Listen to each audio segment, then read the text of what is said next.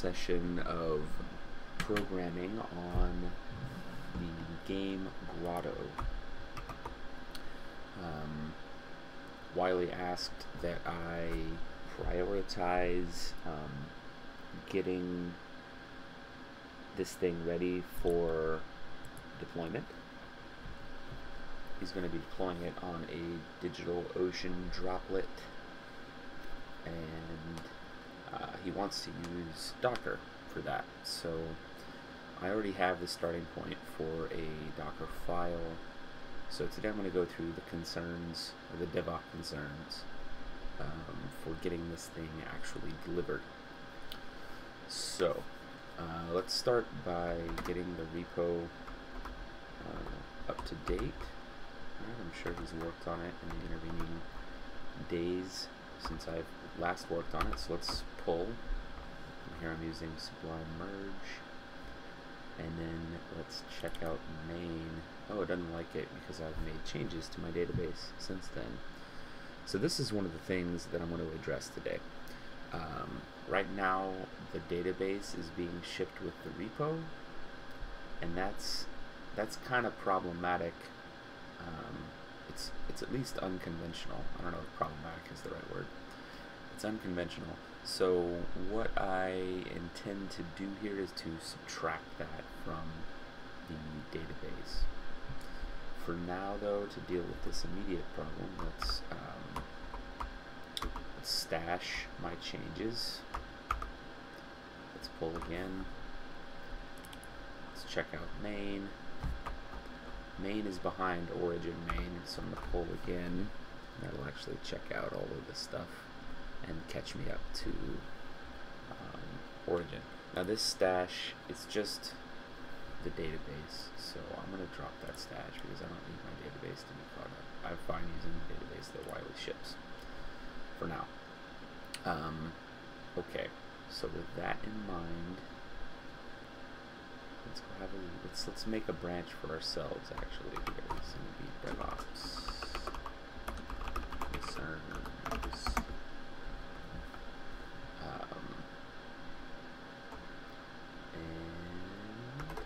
Over and let's have a look at the folder structure. Actually, the best place to look at that is over here. So if I tree this, you can see there's you know, a bunch of bunch of stuff in there that doesn't really need to be in there, um, which we can deal with as well as we do this sort of restructure. But notice that the Docker file and Docker Compose, they are um, right now they're outside of the project directory. The project directory is this grotto, um, and that's where all the Django apps live. Now this is um,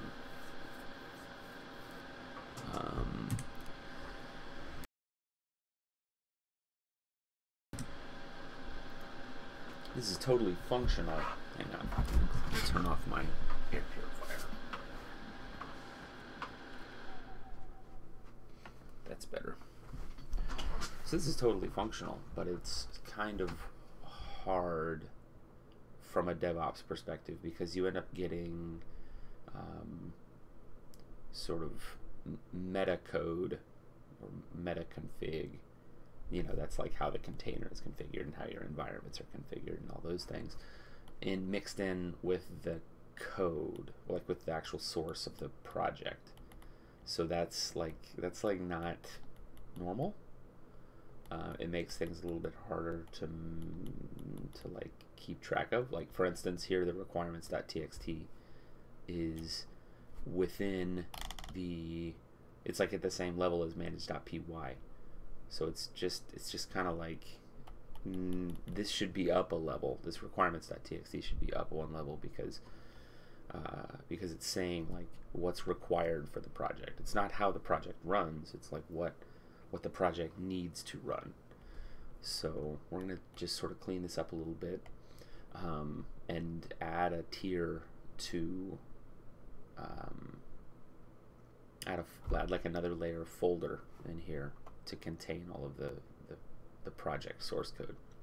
Now, in addition, notice that I have my own um, my own infrastructure here.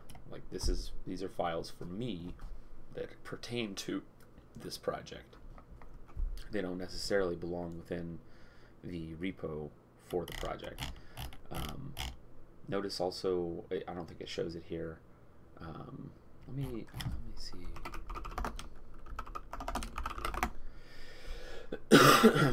Excuse me, I have a, a lot of phlegm to cough up this morning. Uh, so I want to show directories only, D, and I want to show all because I want dot files to show as well. So let's try tree AD. Bingo. Um, oh wow. What's this? Oh, okay. That's our .git folder. Yeah, this is exactly what I wanted to show. I wanted to show that the the, the actual repo here is the project directory for Django. And that's really what I'm aiming to fix with all this. Um, I want to have that repo have some extra stuff that isn't just the Django app. So um, let's start doing it here. And actually, I'm going to start doing it here. Uh, I'm going to make a. So where where am I now? I'm I'm in what I want to be my um, my project directory and then inside of that I want to have the repo so right now I have Grotto that is the um, that is the repo proper and will remain the repo proper. But what I want to do is go one step inside of that. So let's cd into Grotto oh my. And let's make a new a new folder called source. mkdir src so this is um, I'm calling this source so so that it's delineated as the source code.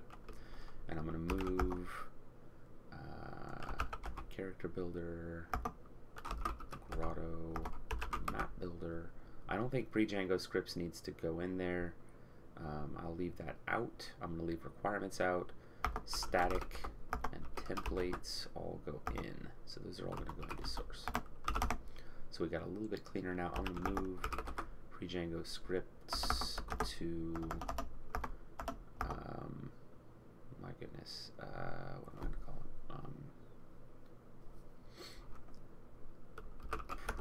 pre-Django scripts. Just want to not have a space in it. So this is looking a little bit better. db.sqlite should be in there as well. So let's move that db.sqlite into source. So now our tree,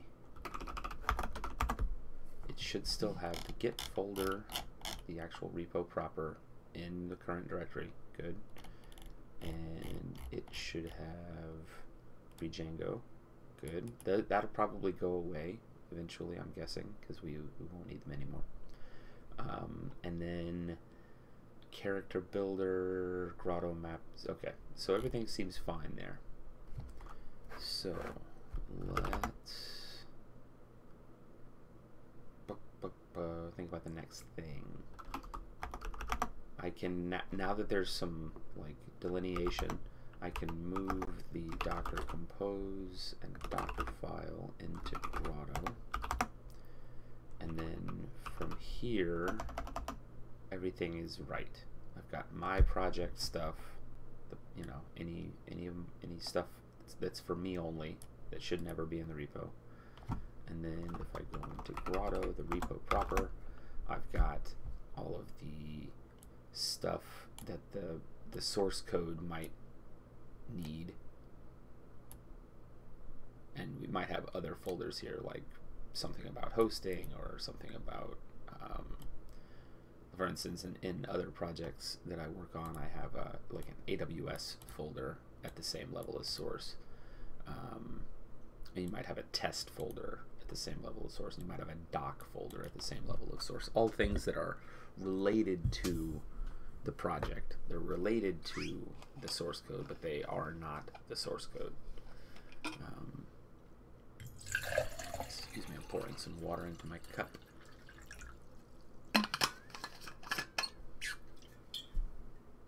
And uh, oh, manage.py should also be in source. Let's move that. Manage.py source. So you, I think you can mess with where manage lives, but manage should be along with the source. So we're looking better here. Let's see what this looks like from the repo perspective.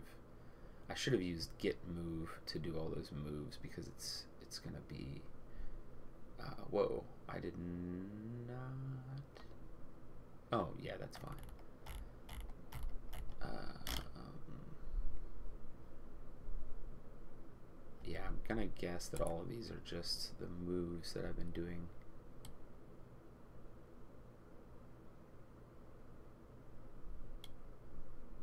yeah bunch of untracked files. Let's stage all. Let's stage all. Okay, so we got a lot of staged files, a lot of stuff moving here. Um, let's have a look at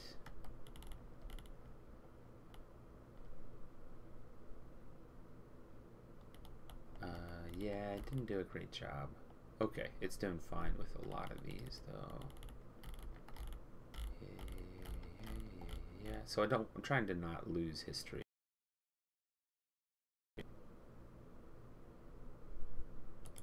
Yeah, that's uh, a weird one.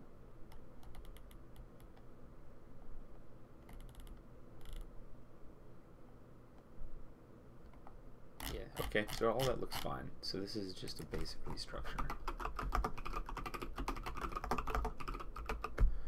Um, and while I'm here, I'm going to go ahead and not add in the Docker file and the Docker Compose. Let's unstage those things. Yeah, let's unstage Docker Compose. Let's unstage. Where's Docker? There it is. Unstage Docker file. Um,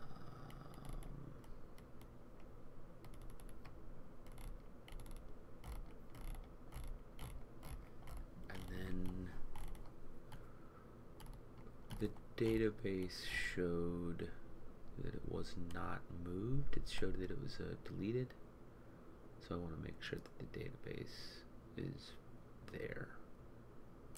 Yeah, this was just showed as deleted. Um,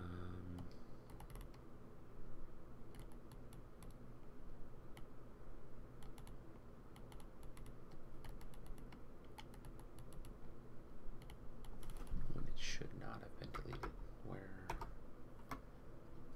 did I move it? Did I not move it? I think I moved it.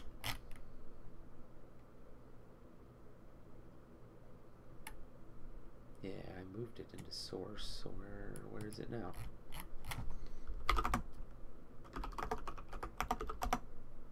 Okay, there it is.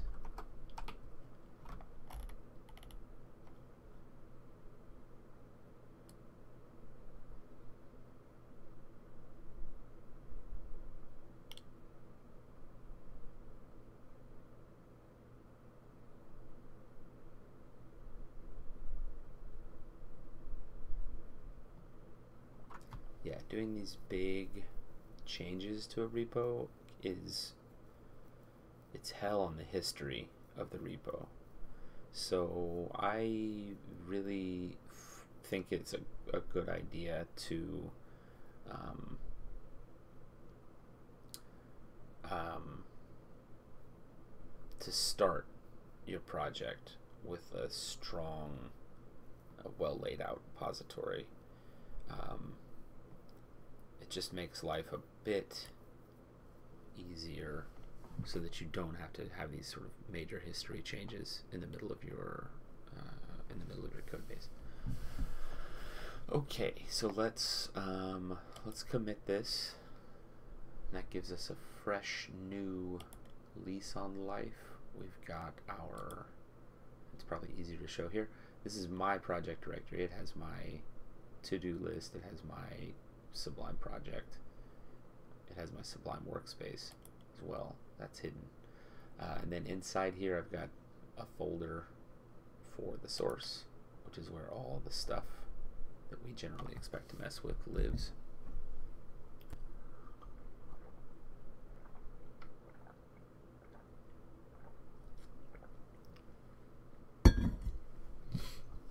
And then we've got the prior art.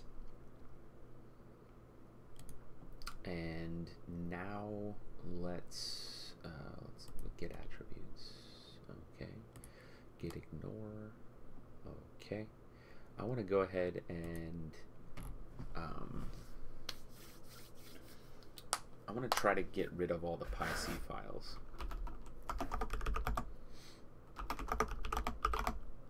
So uh, let's try, I'm just going to try git rm star star PyC.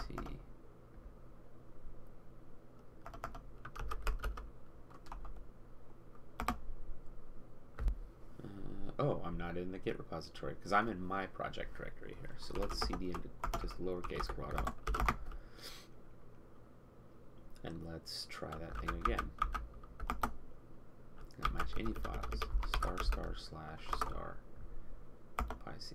Damn it. Okay, so I'm gonna have to locate these things manually. Get rid of them. Uh, that's kind of annoying. So let's do a find.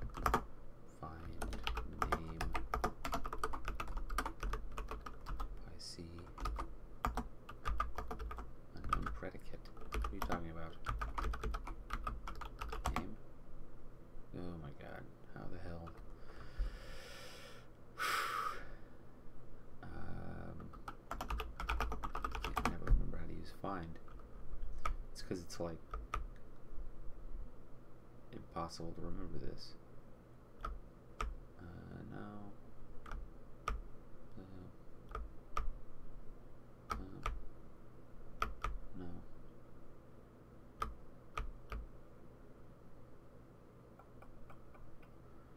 Like name. Uh.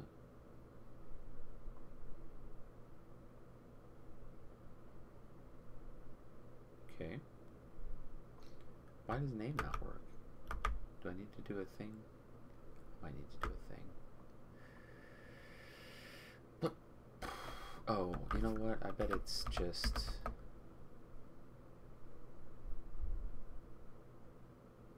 Yeah, okay, it's just out of order.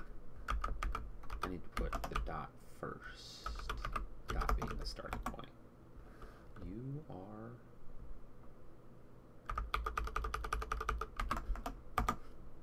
Okay. And uh, I think I can xargs that into to git RM. You know what? I can just RM them. What? RM? What?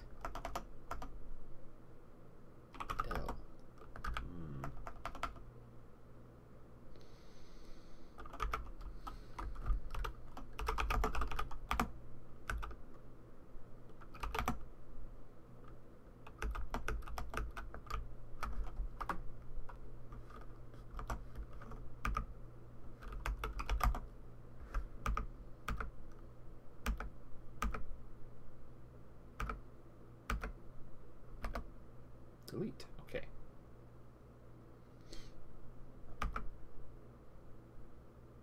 I could also exec. I'm just going to delete them.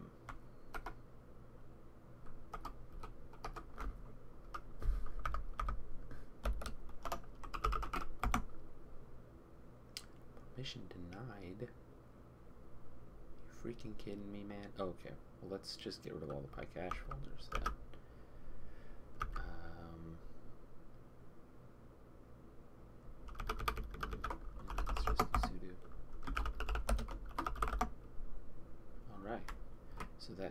Some stuff deleted here.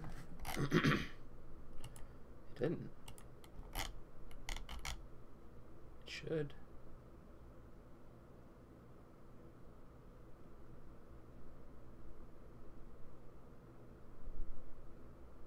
Have I been dreaming? Have I dreamt? Yeah, there's freaking PyC files up in. Oh, well, those got moved. Oh, no, I bet they didn't get moved because the gitignore file asks to not see them. Okay, so I think I killed two birds with one stone. No probs. Um, mm, yeah, there's no movement of the PyCache stuff. DS uh, store also went away. So this was nice. It got rid of all of the files that shouldn't be in the repo, like the database. Dot files. Generally, did we lose anything else? No, it looks like everything else here is a is a rename. Let's check on that. Should have been, could have been more um, precise about this.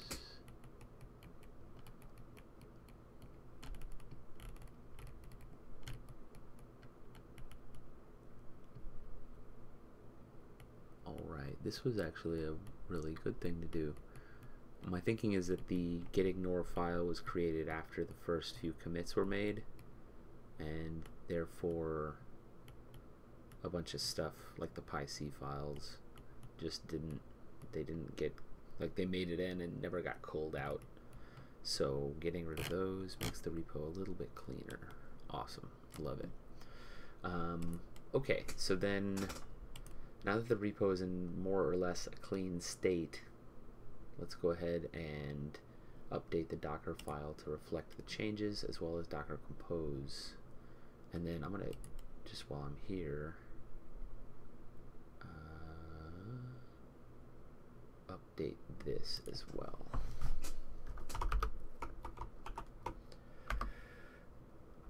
Oh wow, what happened there? Uh, know, it's because my eh, case insensitivity is off. So I don't think I've mentioned it before on these streams. I'm using Sublime Text 3 and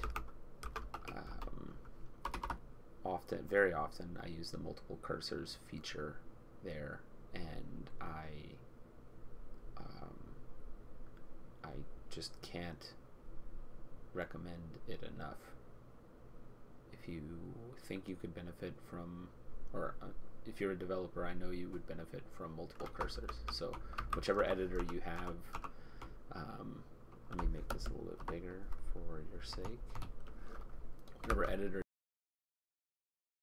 it, it supports multiple cursors, you you're you're doing yourself a disservice by not using them. So. Um, oh my, that's not what I wanted to do.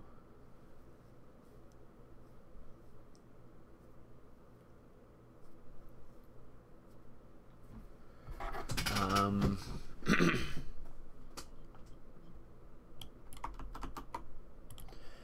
so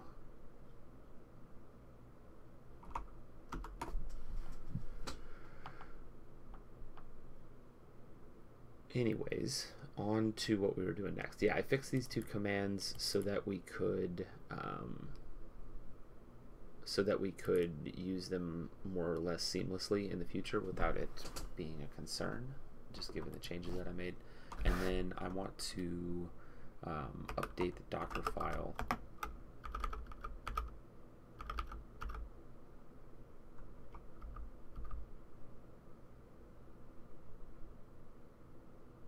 and the Docker file here, it only needs to change because we updated where some stuff is, right? So, oh man, what just happened? Just keep pasting here. Um, so I want to, I still want to pipe requirements.txt into place. I'm going to be kind of sloppy. In the container, it's going to end up in app source. I don't really care. It's not not a big deal where that ends up. I can delete it after we're done with it, and it wouldn't be an issue. In fact, that's that's probably what I'll do. Um, so I already was using a source directory in the container, rather in the image.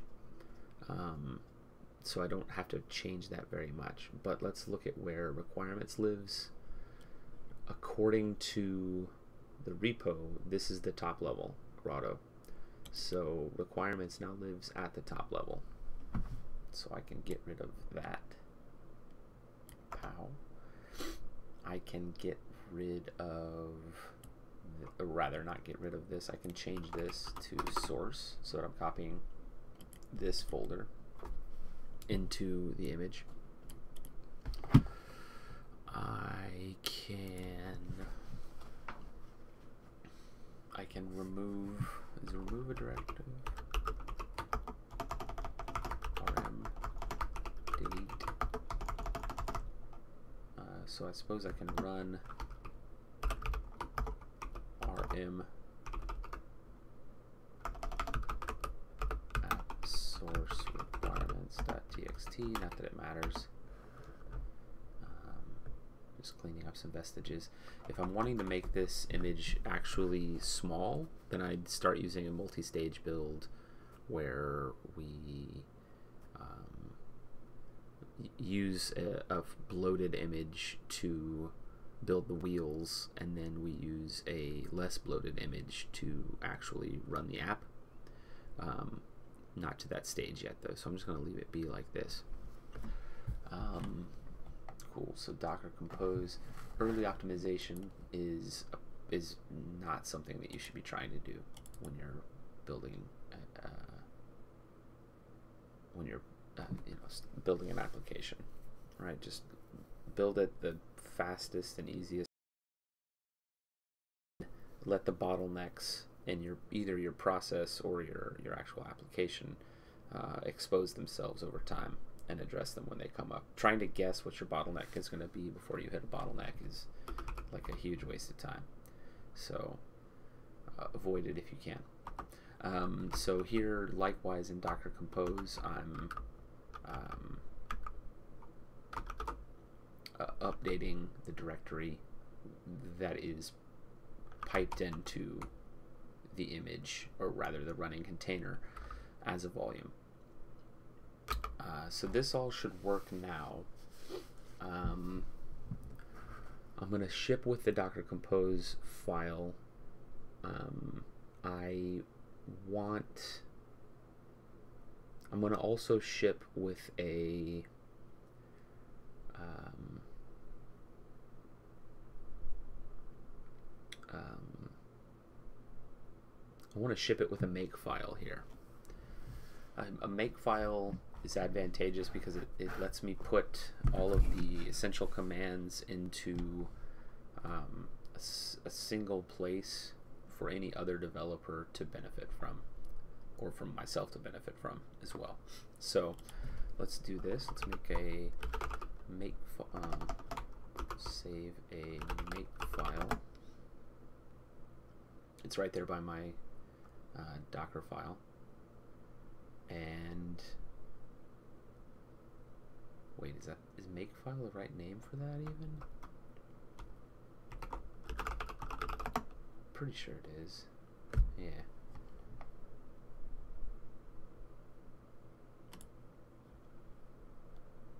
Default named makefile. Okay, so maybe I should make it capital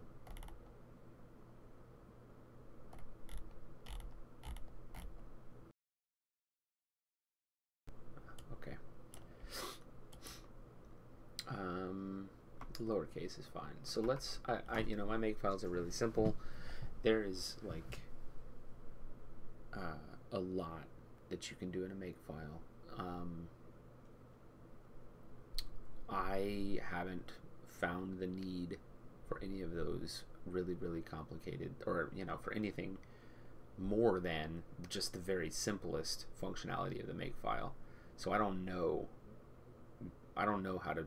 I'm not a makefile guru. I can't. Uh, I can't make them do really interesting things. But what I can do is make them init an app, run an app.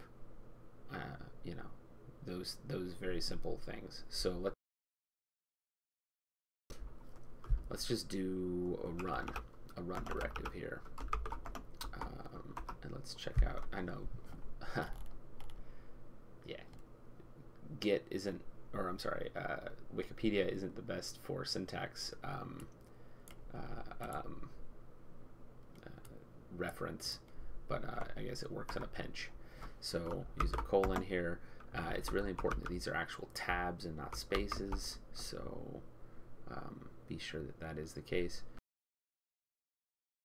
Is recognize that this is a make file and has uh, using the appropriate formatting. So uh, generally, what I've just been using is Docker with a D to make it detached.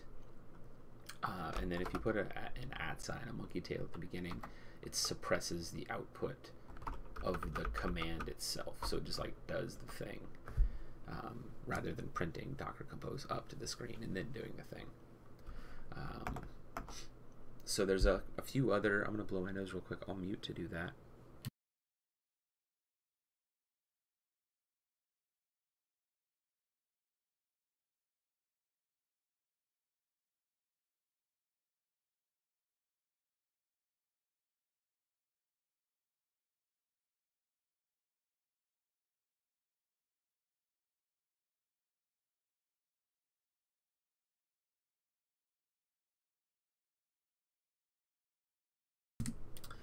Okay, so I'm also going to um, um,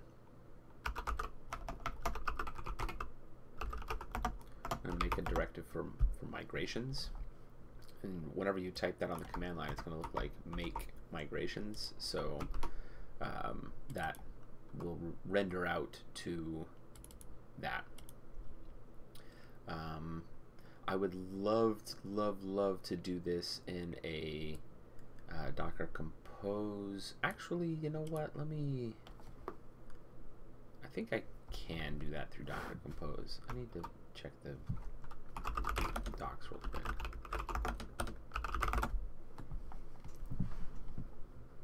Um,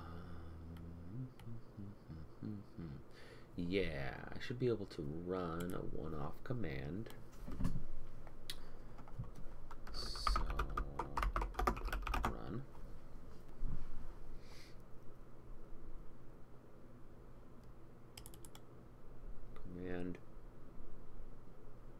So I don't need to override the entry point because the entry point is good for now. Um, but let's actually think about that. Um, so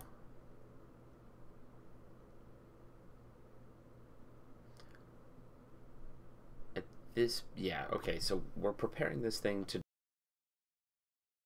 do the interwebs wide world at large. So, um, it's not, we're not going to be using manage.py run server to, um, to actually deliver this app to the world. Like, that's just not going to happen. Um, so it's time here to have a what we what we're going to call an entry point script something that's going to uh, trigger behavior um, based on um, based on you know based on a, a, more complicated script than just invoking manage.py.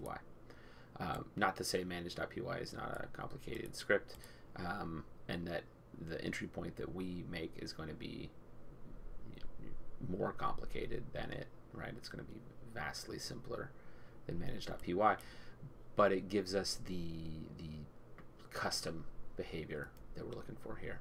So I'm going to close out some of these files that should have been closed out before I started. And I don't know why this, I think I just hit, oh yeah, it doesn't like it because it changed.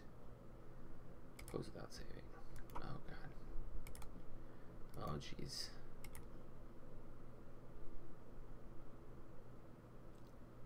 Uh-huh. Uh-huh. You're new. Close without saving. Jesus. Okay. ba ba ba. You can get close too. And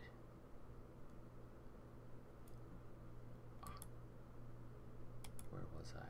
Right, before I do anything in my make file, I'm wanting to make sure that it's accurate, right? That I'm actually doing the thing.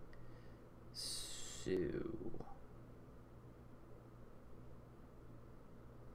let's think about the differences in behavior that we're going to want for a dev versus a production environment. So for dev, it's fine to always do python manage.py run server.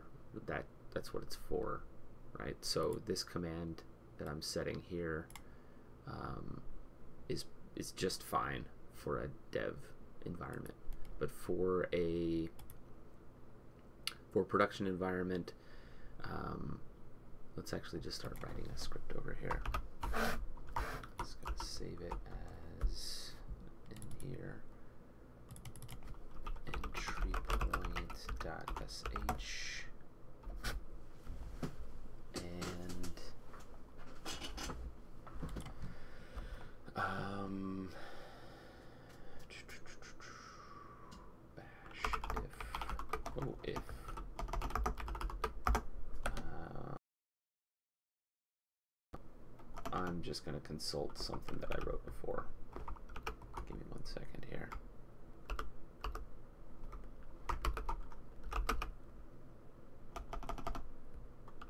Um, mm, mm, mm.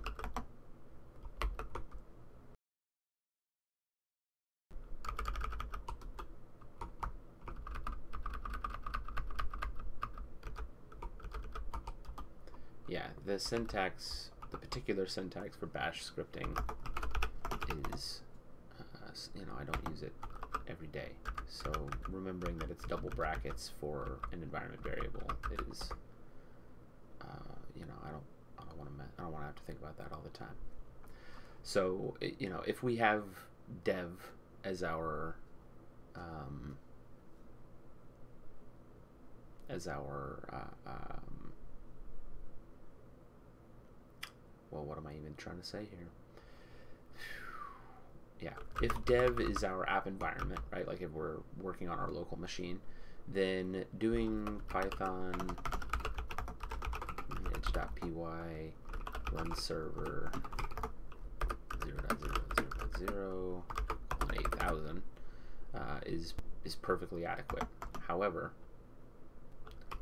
elif if we are in a production environment, then we might want to do something entirely different. Um, the the thing that we are gonna do is um, is actually to use Gunicorn as the WSGI server, um, or the ASGI server, perhaps the WSGI. Sorry. Uh, so we're gonna say um,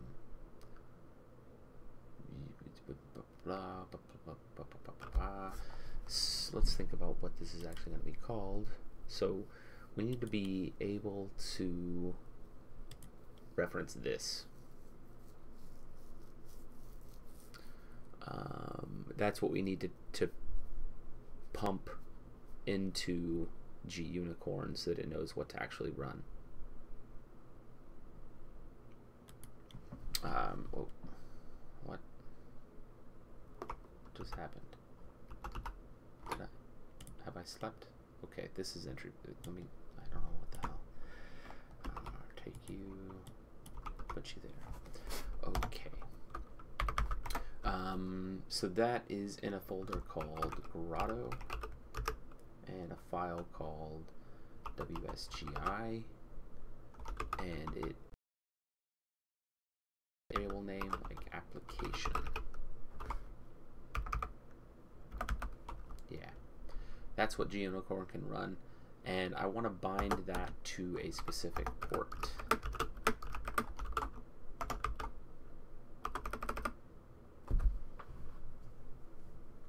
And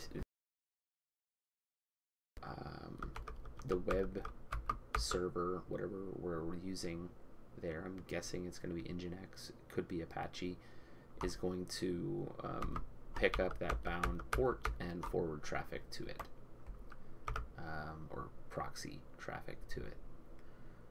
So, this is a pretty simple thing to do. It's not um, it's not complete either.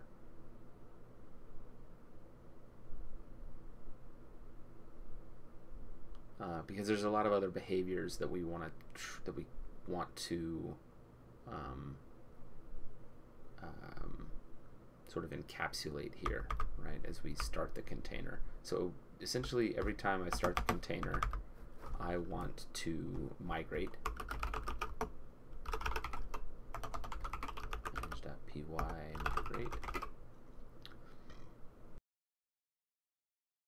That are supposed to happen at the start of any of any uh, container.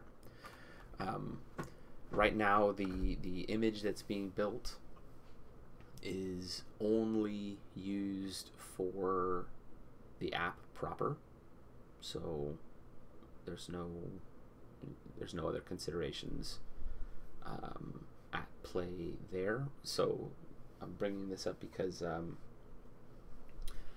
if you have if you were using um, Celery to facilitate queuing, then um, you would also need a worker container.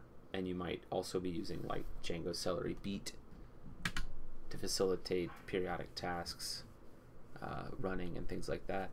Um, that this, if you were doing that, then you would be using your same image um, as both the app, the worker, and the beat. And in that case, you wouldn't necessarily want migrate to run all the time for each of those. So you might have to you know, scope this carefully to make sure that you're only running migrate on the app instance of the uh, container. Uh, but there isn't any kind of concern like that here, so um, we should be able to just do that.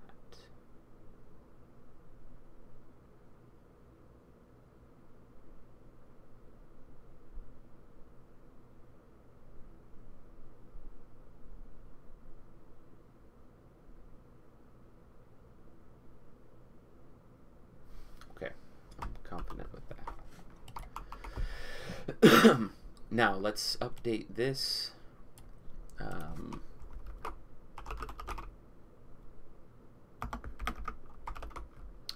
we want to uh, ex execute using the shell app entry point point.sh and in order to do that we need to um,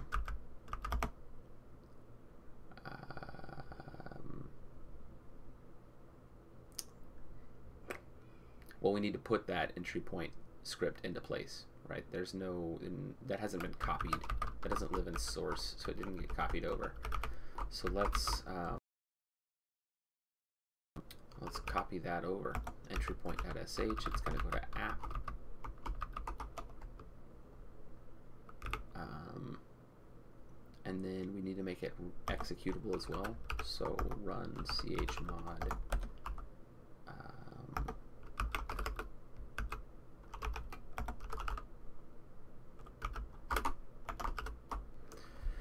so um, this all seems good the since we're getting ready for production the last thing or the next thing that i want to think about is to um, not run this container as root.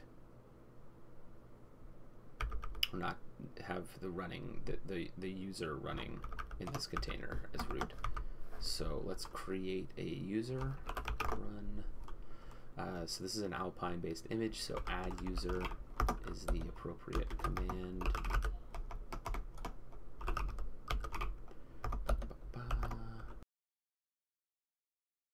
And then we have to set set the user as worker.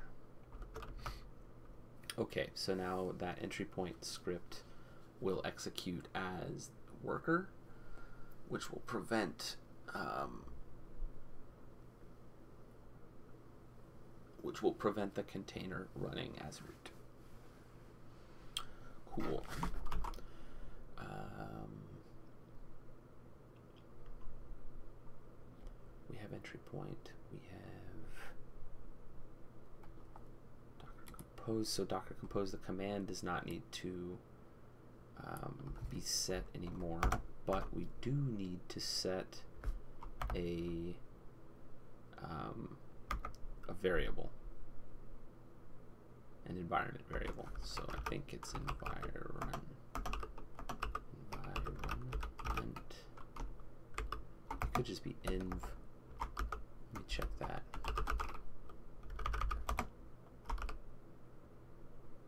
It's environment in full text. So I'm going to say app env is dev.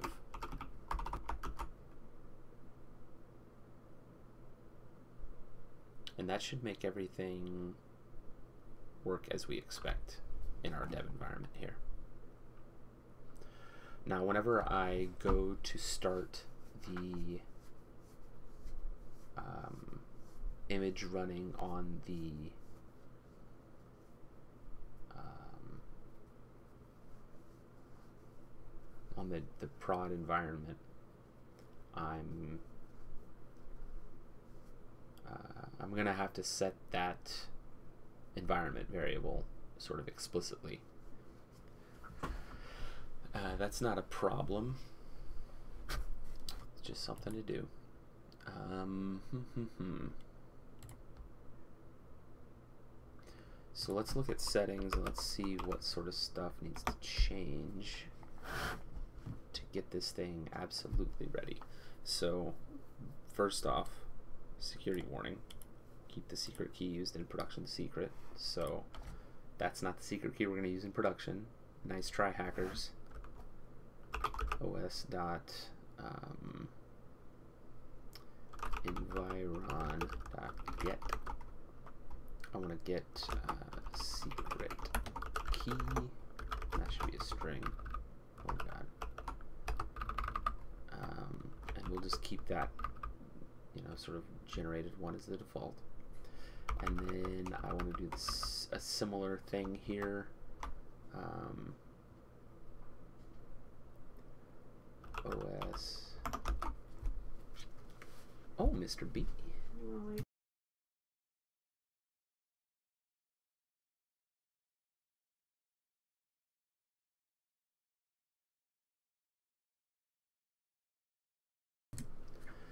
So for debug here, we're going to do os.environ.get and debug.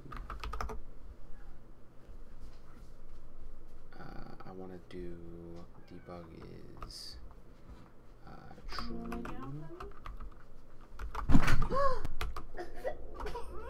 oh my.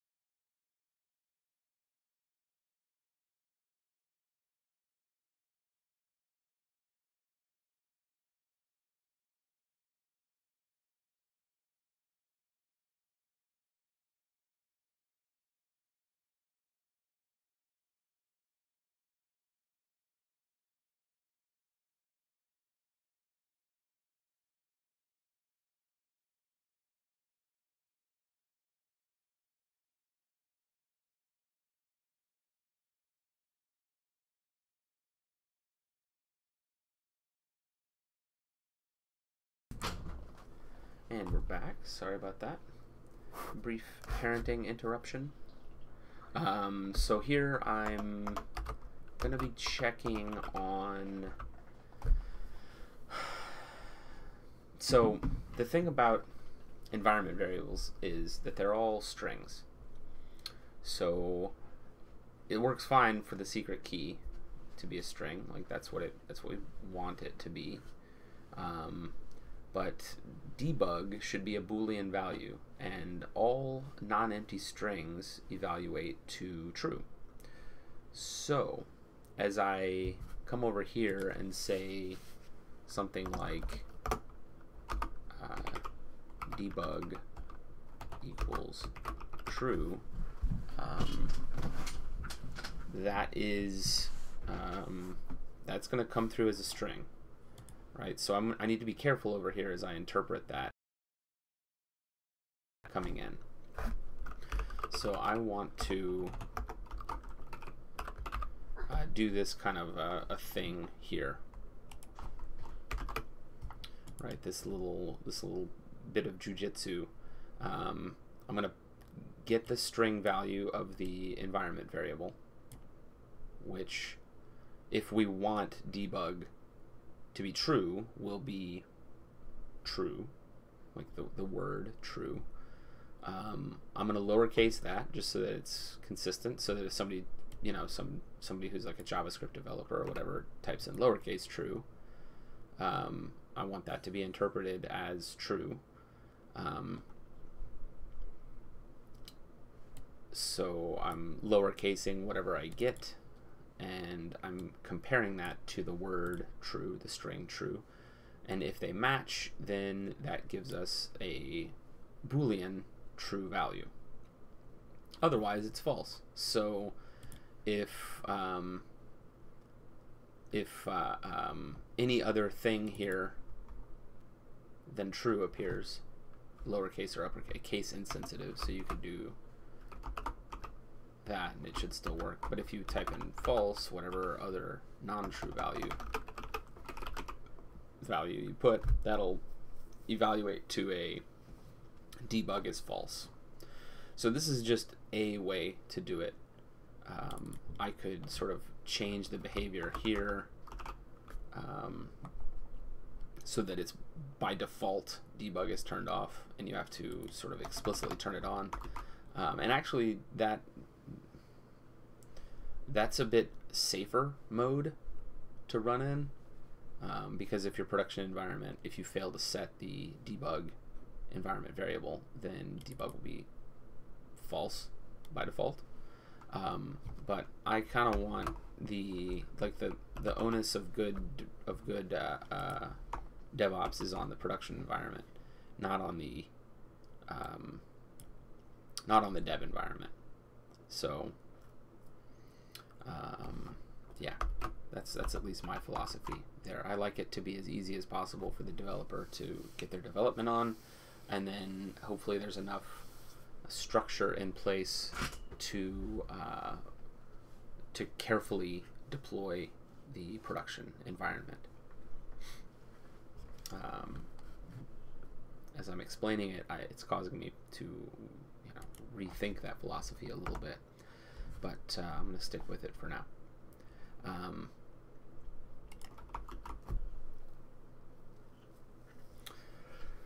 uh, so we should start thinking about what our dev deployment is going to look like. I'm going to make a bit of documentation, make a README here. Um,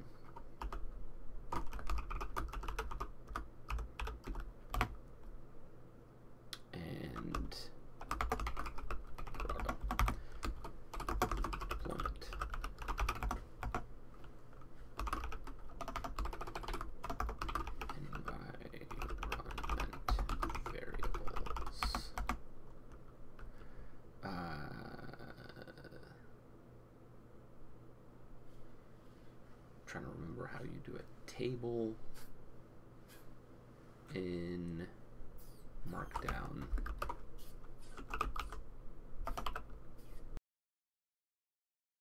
I have an example of it somewhere over here in code. Yeah, okay. So you do pipes and then you do the thing.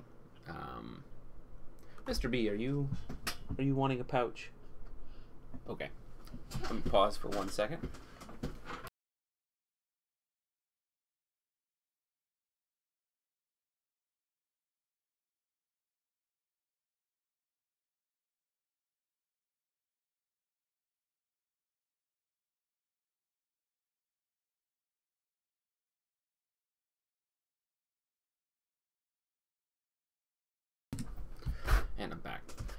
So I want to just express what express what environment variables exist here.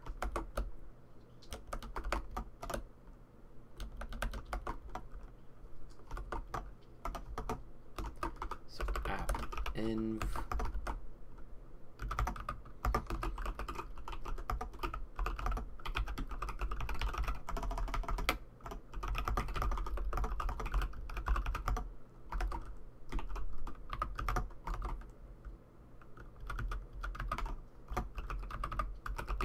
So right it's just the two choices, dev or prod.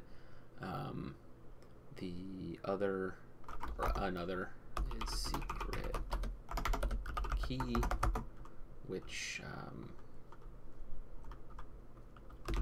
Django secret key, and then debug.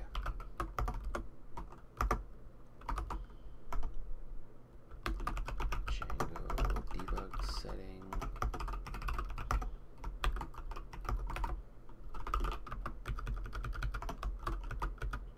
set to false in prod. Um, right now, that's all we have as far as um, environment variables go, but I want to keep track of them as we add new ones. Um,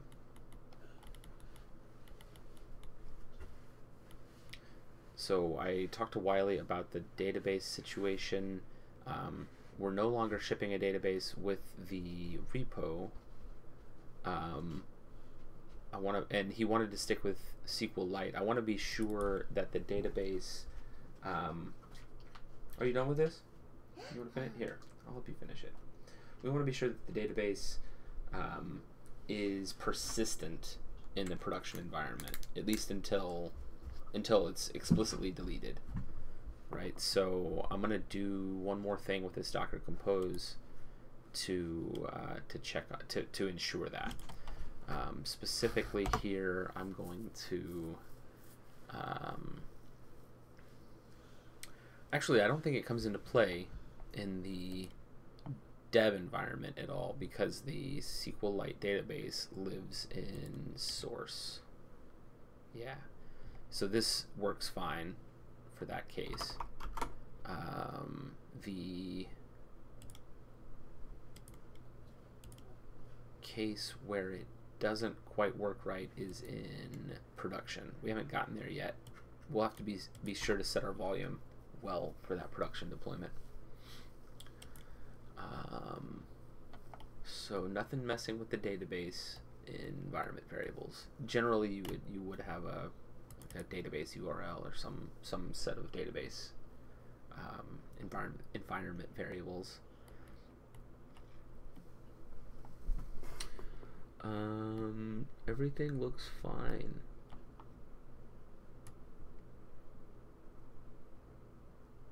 Yeah, everything looks fine. I'm gonna fix up the usage of BASE_DIR.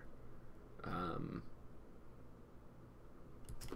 just because uh, Django has switched to um, Django has switched to um, using pathlib.path, which is pretty great actually. Um, you just join paths like that. You take the existing path object and the slash has been redefined as an operator there that lets you put directories together. So I updated that in a few places. all at once. I want to make sure that I didn't break anything there. I did break a thing here.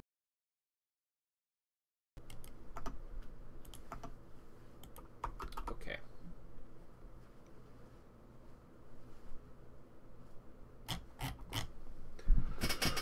Perfect.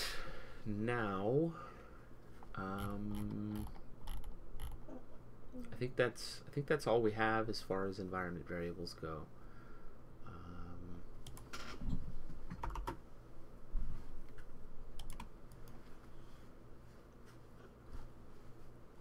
next up, we want to installed.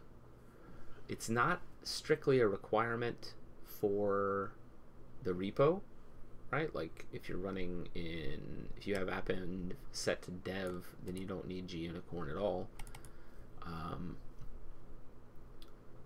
so you could do a an install step here. Um, I you could do an install step here, adding it as a requirement. You know, just doing another Python thing, but that kind of puts it in a weird place. It it's actually not that big of a deal in my mind to have um, to have it here.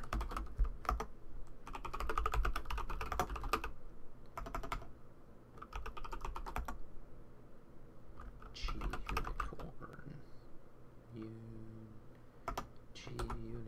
Whoa. There we go. And perfect. So I'm I'm using a Sublime Text plugin that gives requirements.txt awareness. So I was able to sort of auto complete based on all the PyPI packages that exist and then automatically get the latest version. I recommend that entirely because uh, it just makes it so you know, like I don't have to go over to PyPI and get the right name and all that. I just uh, just hit the the shortcut and off it goes. All right, so we've got that ready. We've got entry point prepared. We've got Docker file changed to hold the new entry point. We we're, we've got a Docker compose. It should work fine still. We're working on a make file. Um, so with this make file, um, I'm going to update this to use Docker compose. This is kind of a like using the Docker command outright is uh, is uh, undesirable for me. Docker commands get to be a bit of a uh, um, they get a little verbose. So these these wrappers are nice. So I'm going to use uh, actually I'm going to give these things a name. So this is going to be grotto, and then grotto um, run, and I want to run uh, Python manage.py make migrations.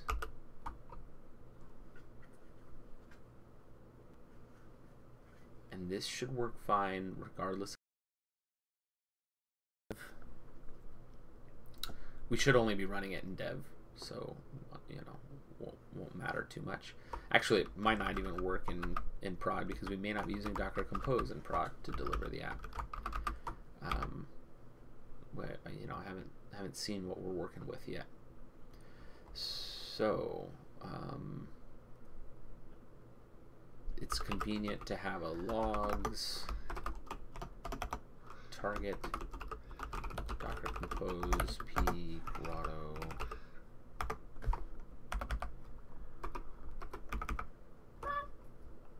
um, Mr. B's making some background noises for you. Um, I will do logs for app. And that should make life a little bit easier there. Um, there is, as of now, no initialization stuff that I've seen. Um, so in a lot of projects, you might have like an init target where you do some setup, right? Like you, you might need to create a super user um, you might need to uh, like initialize the database uh, um, proper, right? Like J- Django will initialize a SQLite database for you, um, and it, it will it'll initialize a, a Postgres database for you as well. But the you might need to bring up the container for your Postgres database so that it can um, like be ready to be initialized by the application. So you might need to do that in advance if you're having a init step. Um, yeah, there's all there's all kinds of stuff that might be there. This project so far, so I'm gonna leave this off. Uh, what I do want to have is a uh, an opposite of stop or an opposite of run, so something like stop. Um, and I'll just steal this command and change this to down. Right now, that's um, those are the, the main ones that I can think about. Uh, let's actually there might be one more. Migrate, migrate is now done whenever we run the the thing. Uh, whenever we run the the container, so I don't think we need that one explicitly. Um, now we've seen that this thing takes about a year to build to to go through the actual build step. Um, uh, while, while thinking about it, let's make a build directive. Build should be able to do Compose p. I don't think you need a p for. Well, let's leave it. See what happens. So having this in place means that I should be able to just do um, make build, and it, yeah, it'll take me through all the things there. Yeah, it's gonna have to to do all the, the build itself because that's a there's new new requirements in place, and it's a new. Oh no, it's not. Uh, well, th this was new. I was moving it from a new place, so the, the it used the cache up to there. It couldn't use the cache beyond that. Okay, so we'll let that build. I'll probably be done with this stream before it's finished building. We'll give it a few minutes. Uh, so that's going to be something that Wiley might have to think about. Um, if this thing takes 20 minutes to build, just because NumPy has a lot of um, NumPy has a lot of uh, uh, operating system sort of requirements, and then spaCy, Spacky, whatever whatever it's called. Um, this thing uh, has a huge huge amount of build associated with it. So what I might suggest there is that we have a have a dependencies container or dependencies image that is independent of the app image that just already has Spacky, spaCy, whatever the hell, installed. In fact, there may be, let's actually look for that. spaCy is a Python library, Hub and C. Mr. B, you standing up on the bed. No jumping on the bed, buddy. No jumping on the bed. No. spaCy. Oh, haha. All right, let's see what we got here. Updated three years ago. Oh, okay, that's a little old. It's spaCy 206. Uh, that's not great. Let's look for spaCy again. Come on.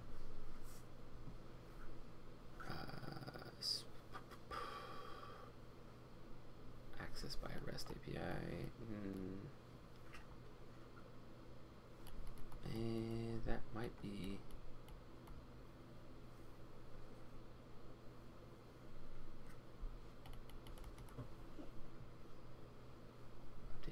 months ago.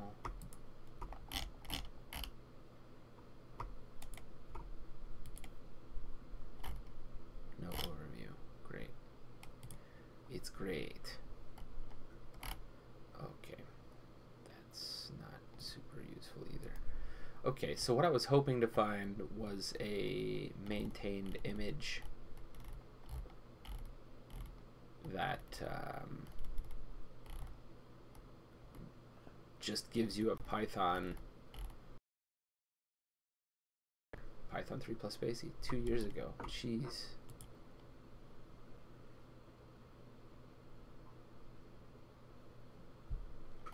Uh,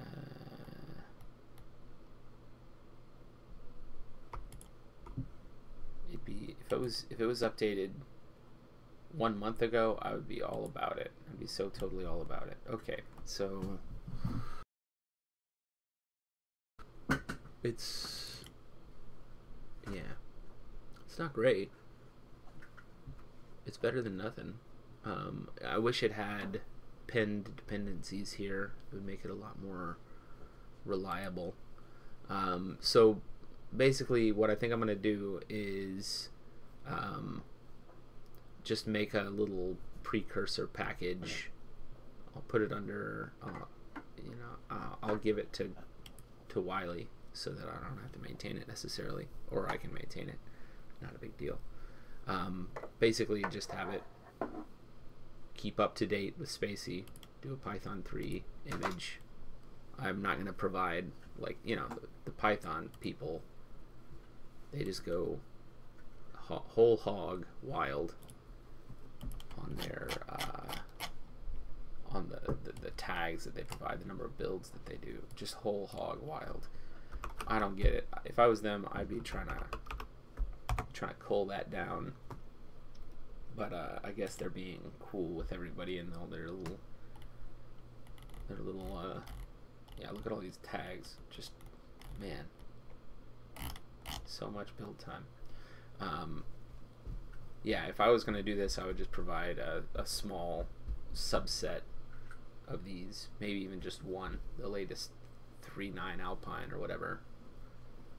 But yeah, I'll have spaCy pre-installed, and that'll keep it a little lighter, at least on build time. Um, I'm to just make that a new to-do.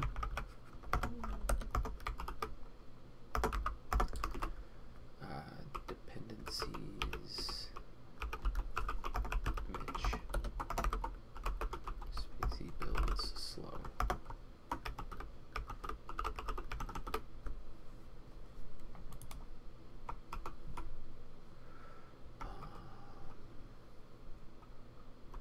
All right, so what else do we need to do? I'm going to cut this stream in about 12, 15 minutes. Um, so let's think about what else we need to do just to get this thing humming for deployment.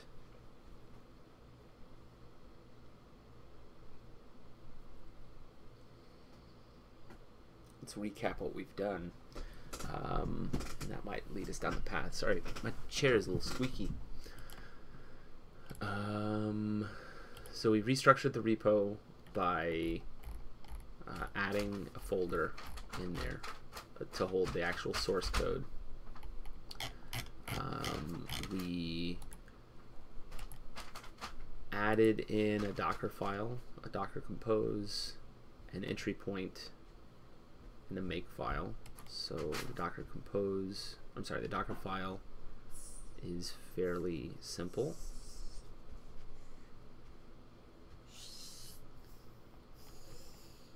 It puts the app in place, it installs the um, operating system dependencies.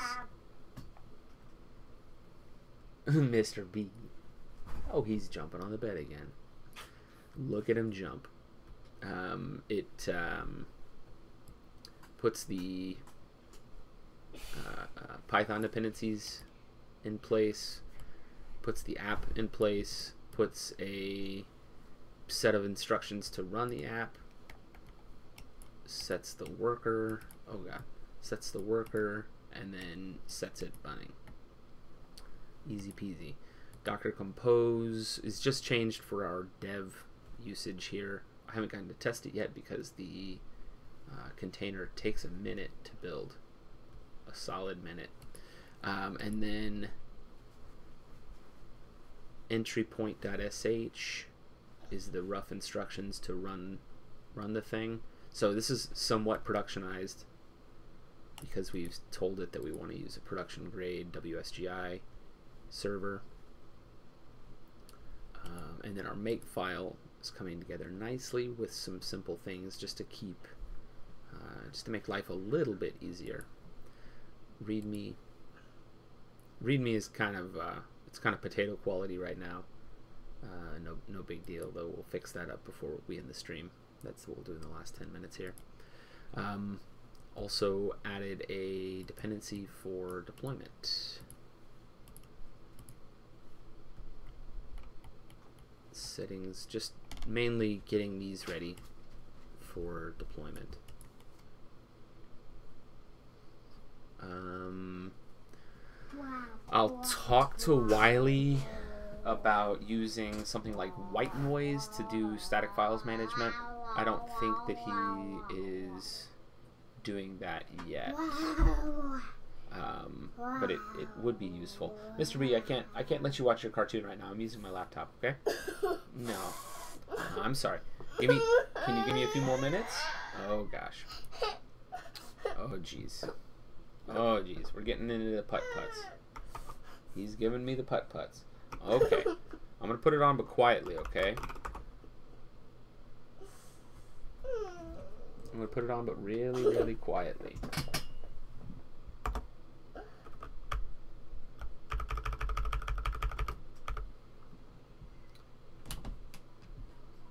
Okay, there we go. Um, you have to appease the child. So, um, what are we? What was I? What was I talking about? Right. I was going to update README so that other people might know what the heck is going on here. Um, so, um,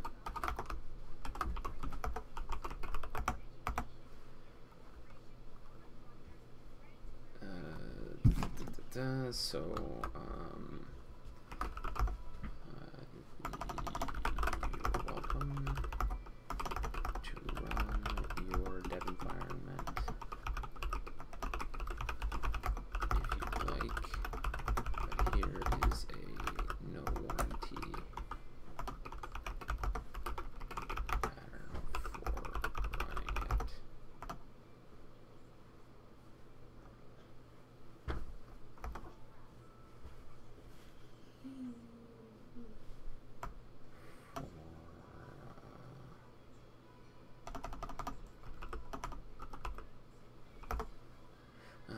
let's see. Here's no no pattern for uh, getting started.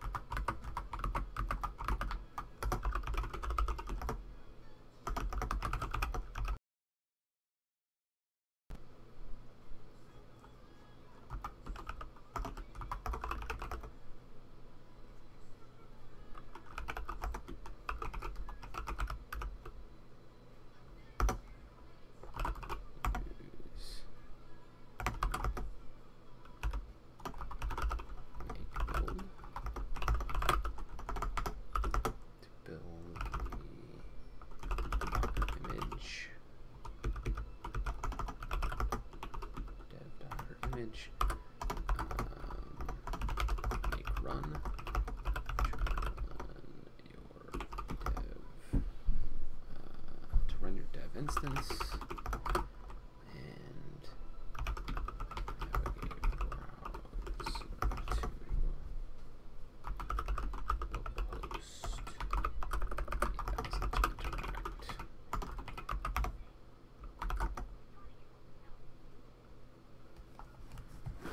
see what other stuff is in the make file here, so we can completely document this thing. Stop. To bring the instance down.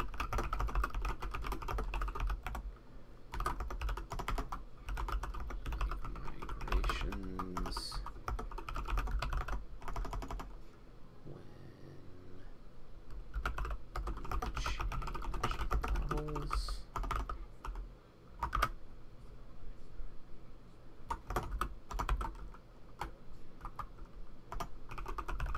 There's running instance.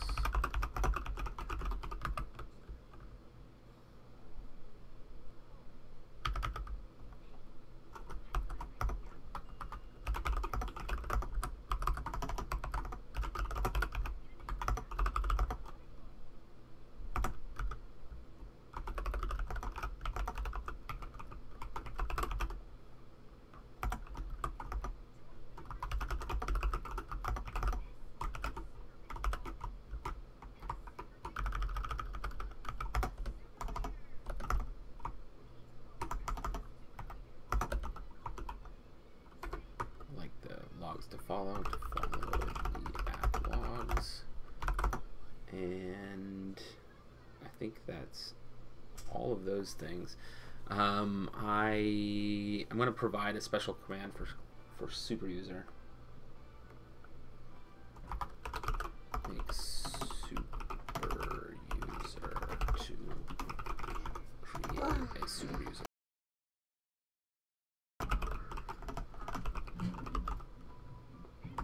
So let's put that in. Super user at Docker. Oh. Exec. I think exec will work. Let me uh, just check a reference here.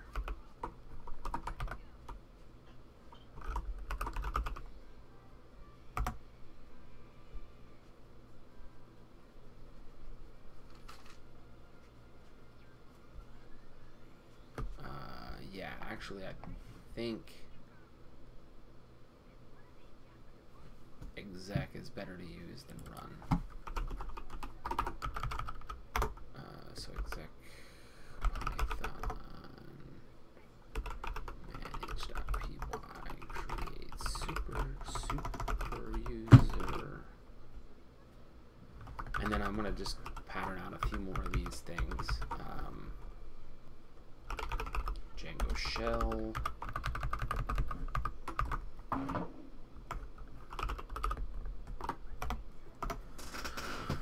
Um, and then uh, we might want to get to the shell of the container itself.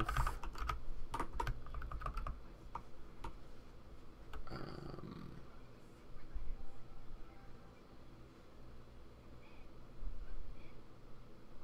yeah, I think we just need to do sh there.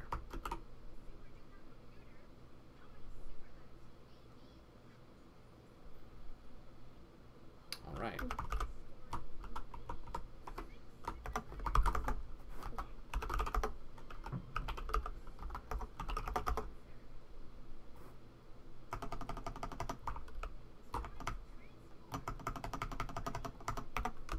C make file for complete list of commands targets.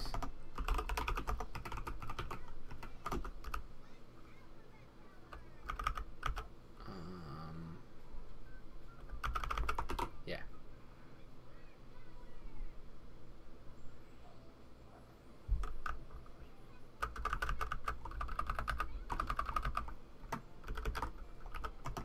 Suggested.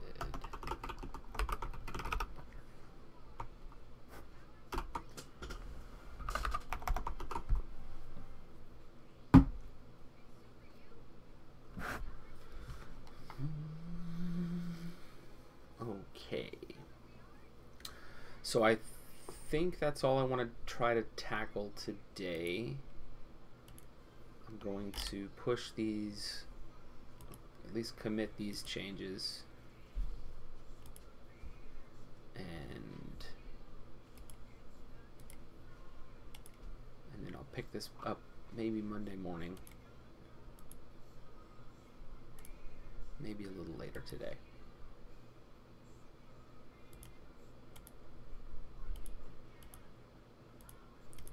before I drop off, I'm gonna go ahead and check on the status. Okay, it's still building spaCy.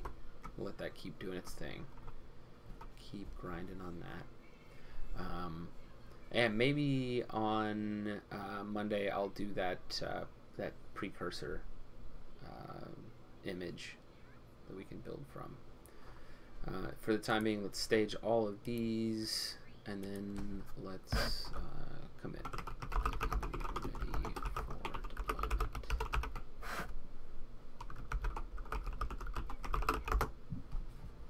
All right. Commit, and let's push them.